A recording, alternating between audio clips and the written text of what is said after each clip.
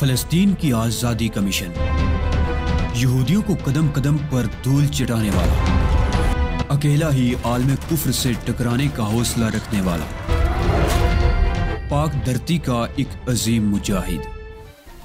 कुफर पर लावे की तरह बरसने वाले इस मुजाहिद की तवील दास्तान सुनने के लिए चैनल को सब्सक्राइब कीजिए और वीडियो को लाइक कीजिए। अमेरिका जैसे मुल्क में ऐसे किसी किरदार का मिल जाना ताजुब खेज नहीं था। लेकिन क्या वो मेरे लिए खतरनाक साबित हो सकती है? बज़ाहिर तो ऐसा नज़र नहीं आता था। मैं तशवीश से सोचता रहा। वो लोग कौन थे जो फैक्ट्री में जेम्स पोकर के पास आए थे? जेम्स पोकर को किसने कत्ल किया था? और उसके बाद मेरे साथ पेश आने वाले वाकयात, क्या उन लोगों को फ़ौरन ही ब्लैक प्लान फ़ाइल गायब हो जाने का एहसास हो गया था? क्या उन्होंने जेम्स पोकर के कत्ल का शुबा मुझ पर किया था? अगर ये बात थी तो इसका मतलब तो ये हुआ कि वो जेम्स पोकर के कातिलों में से नहीं थे। जेम्स पोकर बार्बन वाइको का आदमी था और सहूनी मकासद के लिए काम कर रहा था। फिर वो कौन लोग थे जिन्होंने उसे कत्ल कर दिया? सारे वाकयात एक उलझी हुई डोर की मानित थे, जिसका सिरा कहीं नहीं मिल रहा था। उस वक्त फौरी तौर पर मेरी तवज्जो का मरकज लूसिया की शख्सियत बन गई थी। ये लड़की या औरत किस टाइप की है? ब्लैक प्लान फ़ाइल से इसने क्या नतीजा अखज किया था? और जैसा कि उसने कहा कि वो जाती तौर पर उसमें दिलचस्पी नहीं ले रही और उसने फ़ाइल खोल कर भी नहीं देखी तो फिर आखिर उसकी दिलचस्पी का सबब क्या है? न जाने रात का कौन सा पहर था कि दफातन मेरे दरवाजे पर तीन बार दस्तक हुई और मेरे ख्यालात का सिलसिला टूट गया। मैं जल्दी से दरवाजे के करीब पहुँचा तो बाहर से लूसिया की आवाज़ सुनाई दी, दरवाज़ा खोलो, तुमने मेरी आवाज़ पहचान ली होगी।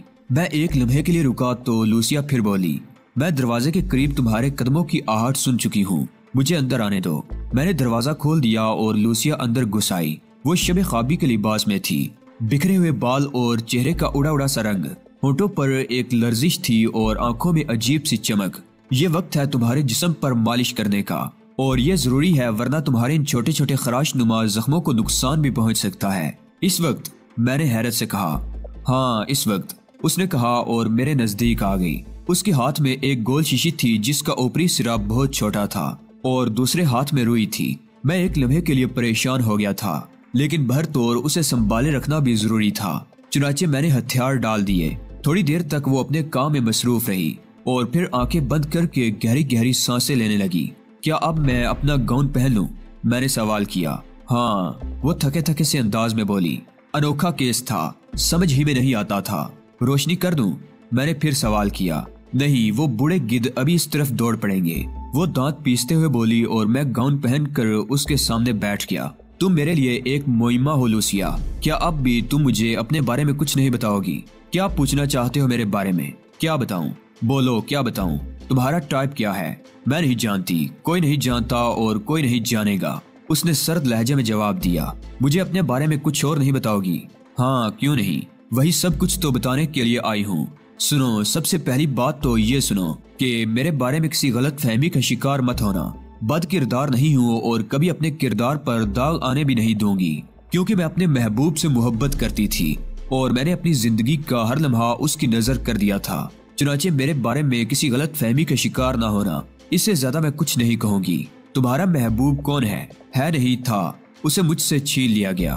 किसने छीन लिया? उन्होंने जो मेरी जायदाद पर कब्जा करना चाहते थे, जो मेरे अपने थे, जिन्होंने हमेशा मुझे अपना कहा, लेकिन अपना समझा नहीं। मैंने हमदर्दी से लूसिया के शाने पर हाथ रखा और आहिस्ता से बोला, दिल का बोझ हल्का कर लो लूसिया। इस तरह तबीयत संभल जाती है। मुझे रुलाने की कोशिश कर रहे हो। कभी नहीं रोई मैं और ना ही कभी रोऊँगी। मैं सिर्फ़ तुम्हारे बारे में जानना चाहता हूँ। मैंने गम गुस्सारी से कहा। वो चंद लम्हे खामोश रही, फिर कहने लगी जैसा कि तुम जानते हो, मेरा नाम लूसिया कैलिस है। एक दौलतमंद बाप की बेटी थी। माँ बचपन ही में मर चुकी थी। नौजवानी की उम्र में दाखिल हुई तो बाप भी एक हादसे का शिकार हो गया। बचपन ही में मुझे जिम एलसी से मंसूब कर दिया गया था। जिम ने कानून की तालीम हासिल की थी और उसके बाद उसने एक कामयाब वकील की हैसियत से अपनी ज़िंदगी का आगाज़ किया था। वालिद की मौत के बाद बेशुमार लोग मेरी सरपरस्ती के लिए उठ खड़े हुए। ये मेरे अपने खानदान के लोग थे। उन्होंने मुझ पर मोहब्बतों की बारिश कर दी। नौजवानी की उम्र थी, मैं उनके फ्रेब का शिकार हो गई। लेकिन दर हकीकत इस सरप्रस्ती की आड़ में वो मेरी दौलत को अपनी तहवील में रखना चाहते थे। मैंने बचपन ही से जिम को चाहा था और उसके साथ ही अपनी ज़िंदगी के सुनहरे ख्वाबों का आगाज़ किया था। जिम बहुत खुददार इंसान था। उसकी ख्वाहिश थी कि वो अपने आप को मेरे मैार के मुताबिक बनाए। लेकिन जब मेरे सरप्रस्तों की नापाक ख्वाहिशें उसके इल्म में आई तो उसने मुझे उनसे अलीदगी का मशवरा दिया। ये अलीदगी उसी सूरत में मुमकिन थी जब जिम से मेरी शादी हो जाए। चुनाचे मैंने अपने सरप्रस्तों से इसका इजहार कर दिया और वो लोग चिराग पा हो गए। जिम में तरह तरह के कीड़े निकाले गए। जिम के खिलाफ बहुत सी साजिशें की गई। उसे बहुत से गिरावने इल्ज़ाम में मुलविस करने की कोशिशें की गई।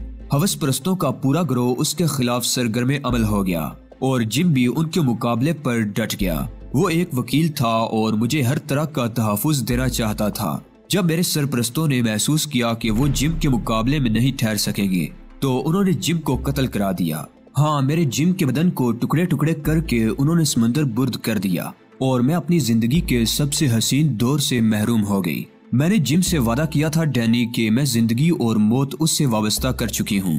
सो मैंने इस वादे को पूरा किया। देख लो, मेरी उम्र सताइस साल हो चुकी है, लेकिन मैं आज भी वैसी ही हूँ, जैसी इब्तदा में थी। जिम की मौत के बाद मेरे जहन में जुनून की कैफियत पैदा हो गई। मैंने खुद मंजरे आम पर आकर उन लोगों की निशानदही की जो मेरे जिम के कातिल थे, लेकिन उनके खिलाफ कोई सबूत ना पा सकी। तब मैंने एक और मंसूबा तैयार किया। अंकल जंकार्ड और आंटी फर्न मेरे बहुत दूर के अज़ीज़ थे।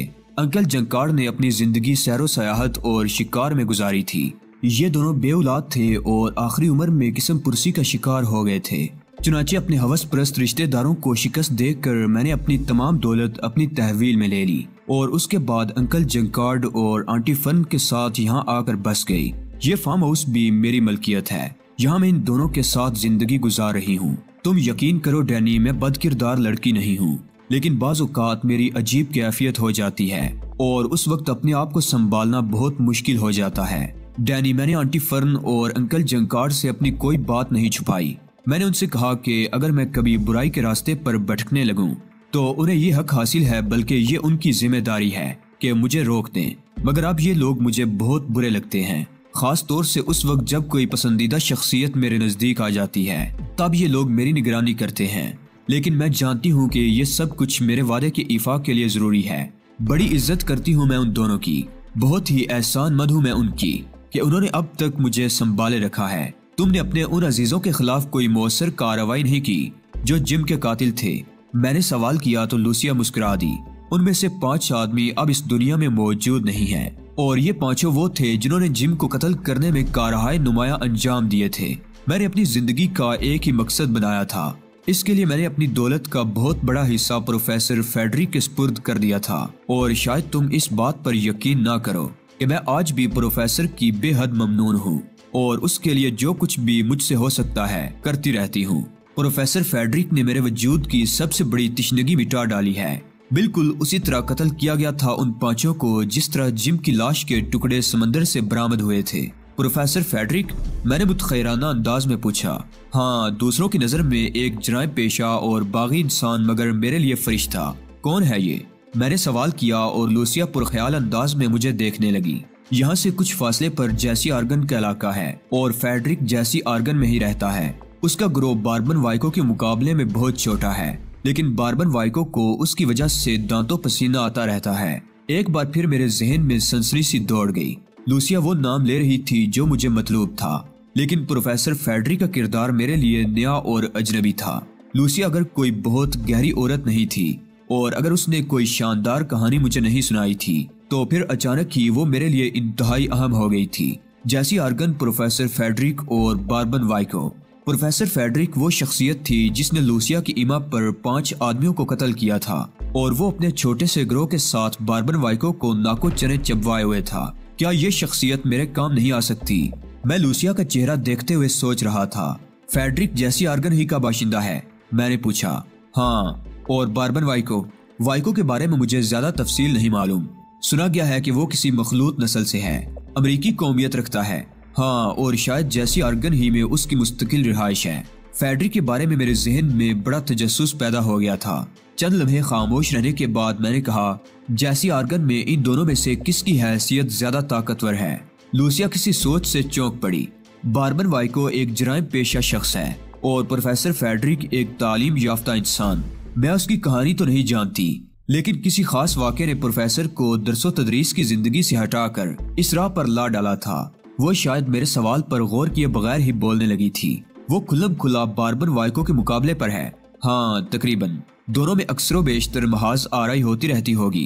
नहीं, अगर कोई खास ही मामला हो तो प्रोफेसर उससे बिरता है, वरना उसके मुकाबले में प्रोफेसर का ग्रुप बहुत छोटा है और उसके वसाइल भी ज़्यादा नहीं है। लूसिया ने जवाब दिया हर एक के बारे में मशकूक हो जाना और मोहतात रहने के लिए तरह तरह की अहमकाना कोशिशें शुरू कर देना, मेरी फितरत में नहीं था। खतरात तो ज़िंदगी की हर सांस के साथ थे। उनसे बचने के लिए रास्ते की आसानियों को फरामोश कर देना मेरे नज़दीक हमाकत थी। लूसिया कैलिस ने जो कुछ कहा था, उसमें बारीकियाँ तलाश करने का मकसद ये था कि मैं अपने कीमती लम्हात में से कुछ वक्त जाया कर दूँ।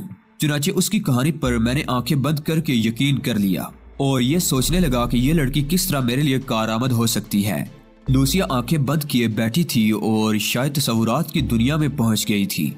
मैंने उस वक्त तक खामोशी इख्तियार की, जब तक कि खुद उसके ख्याल का तिलसम न टूट जाए। उससे काम लेने के लिए अब उसके मिजाज के मुताबिक अमल करना ज़रूरी था। मैं सोचता रहा, फिर थोड़ी देर के बाद मैंने कहा, लूसिया, तुम्हारी कहानी सुनने के बाद तुमसे इजहार हमदर्दी करना। या तुम्हें इस बात का एहसास दिलाना कि तुम बहुत कुछ खो चुकी हो। एक कामयाना सी बात है। लोगों ने तुमसे तुम्हारा बहुत कुछ छीन लिया। और मैं जानता हूँ कि जिम तुम्हें वापस नहीं मिल सकता। लेकिन इसके जवाब में तुमने लोगों से जो कुछ छीना, वो तुम्हारी शख्सियत की बुलंदी और तुम्हारी हिम्मत की दलील है। मेरी तरफ़ से इस कामयाबी पर मुबारकबाद कबूल करो। लूसिया ने चौंक कर आँखें खोल दी।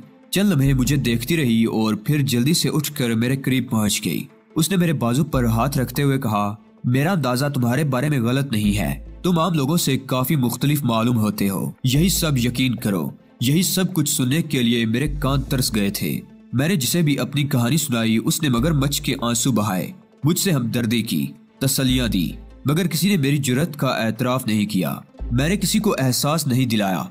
मैंने ये नहीं चाहा कि वो मेरे गीत गाए, लेकिन यकीन करो डैनी।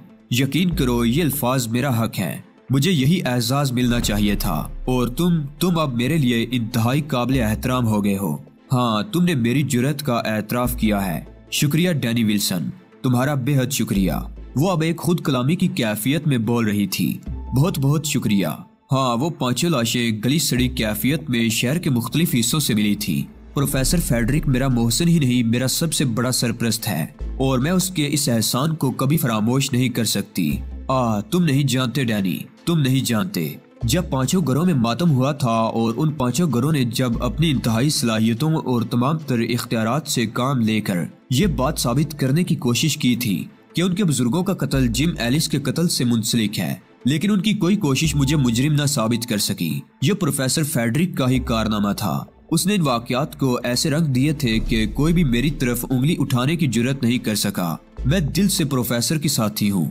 और जो कुछ भी मुझसे बन पड़ता है, उसके लिए करती रहती हूँ। लूसिया ने पुरमसरत अंदाज में कहा, मैं खामोशी से उसकी शक्ल देखता रहा। फिर मैंने एक गहरी सांस लेकर कहा, मैं इसे इत्तेफाक ही कह सकता हूँ, लूसिया। सिर्फ़ इत्तेफाक। क्या? उसने चौंक कर पूछा, तुमने मुझसे सवाल किया था, लूसिया, कि क्या मैं कोई जासूस हूँ या कोई जराम पेशा इंसान? मैंने वादा किया था कि मैं इसका जवाब तुम्हें दे दूँगा। ब्लैक प्लान फ़ाइल भी तुम्हारे जहन में उलझी हुई थी। लूसिया, एक सवाल मैं तुमसे और करूँगा। हाँ ज़रूर, डैनी। उसने कहा, सियासत से तुम्हें कोई लगाव है? नहीं, ये मेरा मौजू नहीं है। कभी फुर्सत ही नहीं मिली इस तरफ़ तवज्जो देने की। तुम मजलूम हो, लूसिया, तुम्हारे साथ ज्यादती की गई है। लिहाजा यकीनी तौर पर दिल से तुम उन लोगों के खिलाफ होगी जो किसी पर जुल्म करें। सौ फ़ीसद, मैं इसी मिजाज की औरत हूँ। लूसिया तो फिर ये समझो कि मेरा ताल्लुक भी उन लोगों से है, जिन पर ज़िंदगी तंग कर दी गई है, जिनसे उनकी बताया हयात छीन ली गई है। जिन्हें जुल्म का निशाना बनाकर दर कर दिया गया है। सो मैं उन्हीं लोगों के लिए सरगर्म अमल हूँ, और उनकी मदद करना ही मेरी ज़िंदगी का अहम तरीन मिशन है। कौन है वो लोग? लूसिया ने सवाल किया। वाक़ फलस्तीन तुम्हारी निगाहों से ओझल नहीं होगा। अखबार में इस बारे में पढ़ती रही हूँ। ये इल्म होगा तुम्हें कि यहूदियों ने फलस्तीन की सरजमीन मुसलमानों से छीन ली है। इन्हें दर बदर करके उन्होंने वहाँ अपनी ममलिकत की बुनियाद डाली है। हाँ कुछ वाकयात मेरे इल्म में हैं। ये भी इल्म होगा कि फलस्तीनी अपनी बका के लिए जिदोजहद कर रहे हैं। बेशक मुझे इल्म है। तो फिर यूँ समझ लो, लूसिया, कि मैं भी फलस्तीनियों के मफादात का हामी हूँ और उन्हीं के लिए काम कर रहा हूँ। ओ, कोई एजेंट हो तुम? उसने सवाल किया। हाँ तंजीम आज़ादी फ़लस्तीन का एक एजेंट। लेकिन मजबन तो तुम उनमें से नहीं मालूम होते। मसलकन तो उनमें से हूँ। मैंने जवाब दिया। बड़ी बात है ये। मैं तुम्हारे इस जज्बे की कदर करती हूँ। ब्लैक प्लान इसी सिलसिले की एक कड़ी है लूसिया तुम अगर चाहो तो मैं वो फ़ाइल तुम्हारे सामने खोल कर देख सकता हूँ। मैंने इंतहाई खतरनाक हालात में ये फ़ाइल हासिल की है। और ये हकीकत है कि कुछ लोग मेरी जान के दर पे हैं और यकीनी तौर पर मुझसे ये फ़ाइल छीन लेना चाहते हैं। मैं दुश्मनों में गिरा हुआ हूँ और सबसे दिलचस्प बात यह है लूसिया कि इस सिलसिले में मुझे जैसी आर्गन ही जाना था। हार्बन वाइको मेरे दुश्मनों में से है और ब्लैक प्लान की बकिया कड़ियाँ बार्बन वाइको से मिलती हैं। चुनाचे इतफाक है कि तुम्हारे ज़रिए मुझे मिस्टर फेडरिक के बारे में मालूम हुआ। लूसिया चौंक पड़ी थी। चल लम्हात वो मुझे मुताजबाना निगाहों से देखती रही। फिर उसने कहा, मैं इंसानों पर भरोसा करती हूँ। मैं कभी किसी से मुनहरिफ या गुरेजा नहीं होती। उस वक्त तक, जब तक कि उसका ताल्लुक मेरी अपनी ज़िंदगी से ना हो। लेकिन तुम्हारे इस ब्लैक प्लान के बारे में तफसील ज़रूर जानना चाहूँगी और उसके बाद मैं तुम्हारी मदद भी करूँगी। फेडरिक, जैसा कि मैं तुम्हें बता चुकी हूँ, मेरे दोस्त, मेरे मोहसिन और मेरे बुज़ुर्ग साथी हैं। जैसी आर्गन में बार्बन वाइको के खिलाफ जो भी काम हो, फेडरिक इसमें सरगर्म होते हैं। यकीनन मेरी ख्वाहिश पर वो तुम्हारी मदद भी करेंगे, और मैं तुम्हें उन तक पहुँचने का एक ऐसा ज़रिया बता सकती हूँ, जिससे तुम बजाते खुद भी उनकी तवज्जो हासिल कर लोगे। ये सिर्फ़ एक इत्तेफाक है कि तुम नादनिस्ता तौर पर मेरी एक मुश्किल का हल बन गए। लूसिया के अल्फाज पर मैं देर तक गौर करता रहा। और फिर मैंने उससे कहा, तुम अगर चाहो तो ब्लैक प्लान फ़ाइल मेरे सामने लाकर खोल सकती हो। दरअसल प्रोफेसर फेडरिक तक किसी को पहुंचाते हुए मैं अपना इतमान कर लेना चाहती हूँ कि वो किसी तौर उनके लिए नुकसान दे तो नहीं हो सकता। तुम इसमें हक बजानी भोलोसिया और मैं तुम्हारे साथ भरपूर ताउन करूँगा। इसलिए कि मुझे तुम्हारी मदद की ज़रूरत है। मैं हाजिर हूँ। लूसिया ने जवाब दिया तो फिर ब्लैक प्लान फ़ाइल ले आओ। हम उसे खोल कर उसके बारे में तफसीलात नोट करते हैं। लूसिया अपनी जगह से उठ गई। दरवाजे के करीब पहुँच कर वो रुकी और फिर उसने कहा, लेकिन इसके लिए हमें तेज रोशनी करना होगी और वो दोनों, ठीक है ठीक है, अब इस वक्त उनकी मुदाखलत बर्दाश्त नहीं की जा सकती। वो खुद कलामी के अंदाज में बोली और बाहर निकल गई। उसके जाने के बाद मैं चकराते हुए जहन से इन तमाम वाकयात के बारे में सोचता रहा था। लूसिया ने वापसी में देर नहीं लगाई।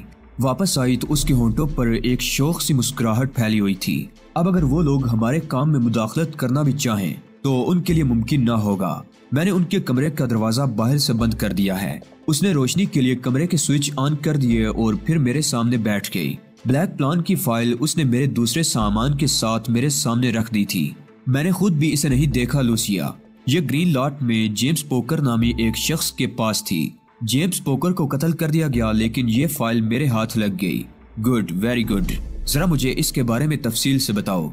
लूसिया ने कहा, मैंने असल बात तो लूसिया को नहीं बताई, लेकिन ब्लैक प्लान फ़ाइल के बारे में कुछ ऐसी कहानियाँ जो हकीकत से थोड़ी सी करीब थी, उसे सुनाई, और फिर ब्लैक प्लान उसके सामने ही खोली।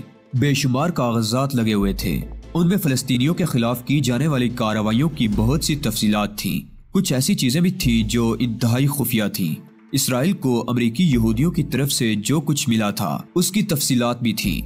कुछ नए मनसूबों के बारे में प्लानिंग भी थी। खासे वाजे और साफ़ अल्फाज में यह सब कुछ दर्ज था और उसके बाद एक नए मनसूबे की निशानदही की गई थी, जिसमें माइकल जोशर का नाम भी था। चंद और यहूदी रहनुमाओं की सिफारिशात भी थी, जिनके तहत ब्लैक प्लान पर अमल करके फलस्तीनियों को कारी जरबे लगाई जा सकती थी और उनके हलीफ मुल्कों को नुकसान पहुँचाया जा सकता था। उसके बाद इस सिलसिले में एक मुश्तरका रिपोर्ट थी, जिसमें बारबर वाइको को इस मिशन का सरबरा मुकर किया गया था। और बारबर वाइको के पास इससे आगे की तफसीलात मौजूद थी।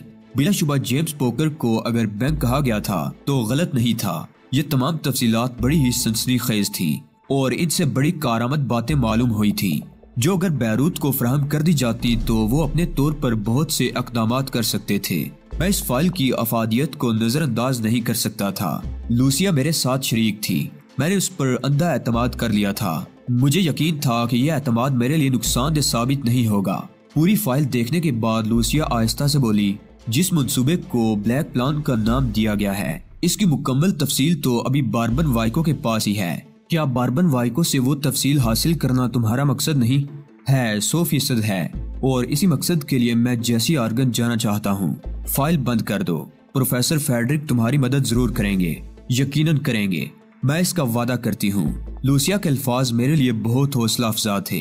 उससे गुफ्तगु के दौरान मेरे जहन में खुद प्रोफेसर फेडरिक का ख्याल आया था।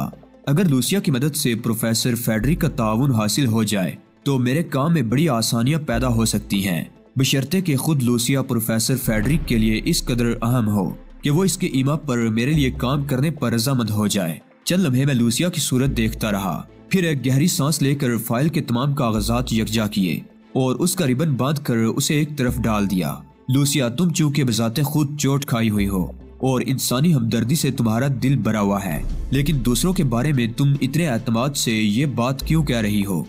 जैसा कि तुमने देखा, अंकल जंकार्ड और आंटी फर्न मुझे बेवकूफ़, नोखेज बच्ची की तरह समझते हैं। लेकिन यह अंदाज़ा भी लगा लिया होगा तुमने मेरे बारे में कि मैं ना तो नो उम्र हूँ और ना ही बेवकूफ़। इस बात को तस्लीम करने में मुझे कोई यार नहीं है कि मेरी शख्सियत मसख हो गई है। मेरे सामने ज़िंदगी का कोई मकसद नहीं है। तो क्या तुम इतना सा अंदाज़ा नहीं कर सकते कि जिस शख्स के सामने ज़िंदगी का कोई मकसद ना हो, वो अपने मशागल के बारे में भी मतदल नहीं होता? मैं प्रोफेसर फेडरिक के लिए काफ़ी काम करती हूँ, और मैंने प्रोफेसर पर अपना इतना एतमाद कायम कर लिया है कि वो अपना अहम से अहम काम मुझे सौंप देते हैं। बर रास्त जैसी आर्गन जाने वाले बारबन वाइको की निगाह में होते हैं, लेकिन वो जो बर रास्त जैसी आर्गन नहीं जाना चाहते प्रोफेसर फेडरिक के लिए मुझसे रबता कायम करते हैं और प्रोफेसर फेडरिक मेरे इस ताउन को कदर की निगाह से देखते हैं। एक लम्हे के लिए खामोश होकर उसने चेहरे पर नज़रें जमा दी, जैसे अपनी बात का रद्द देखने की कोशिश कर रही हो। फिर सिलसिला कलाम जारी रखते हुए बोली, बात चूँकि बारबन वाइको की है और जैसा कि मैं तुम्हें बता चुकी हूँ, मुझे नहीं मालूम कि प्रोफेसर फेडरिक और बारबन वाइको में कौन सी बात तनाजे का बायस बनी, लेकिन बारबन के हर मसले को प्रोफेसर हाथ में लेना पसंद करते हैं। और आजकल भी उनकी बारबन वाइको से ठनी हुई है। ऐसे हालात में तुम अगर अपना कोई काम लेकर मेरी मार्फत उनके पास जाते हो तो प्रोफेसर ज़रूर तुम्हारी मदद करेंगे। और सबसे बड़ी बात यह कि मैं खुद भी तुम्हारी मदद करना चाहती हूँ। सुनो, डैनी विल्सन, शायद मेरी शख्सियत दोहरी है। बाज मैं खुद अपने बारे में अंदाज़ा नहीं लगा पाती, लेकिन बहरहाल मैं तुमसे कह चुकी हूँ कि मुझे इस तरह की ज़िंदगी पसंद है। अभी तो मैं अंकल जंकार्ड और आंटी फर्द से ताउन कर रही हूँ। लेकिन जिस वक्त भी मेरा जहन भटक गया, मैं बर रास्त प्रोफेसर फेडरिक के ग्रोह में शामिल हो जाऊँगी और उनके लिए काम करूँगी। मैंने अपनी दौलत का एक बड़ा हिस्सा प्रोफेसर के हवाले कर दिया है। प्रोफेसर उसे लेना नहीं चाहते थे, न ही उन्होंने इसे मेरे काम के मुआवजे के तौर पर कबूल किया, बल्कि मैंने उनके मिशन के सिलसिले में उनके साथ ये माली ताउन किया था। और प्रोफेसर इस हवाले से मेरे बहुत ममनून हैं।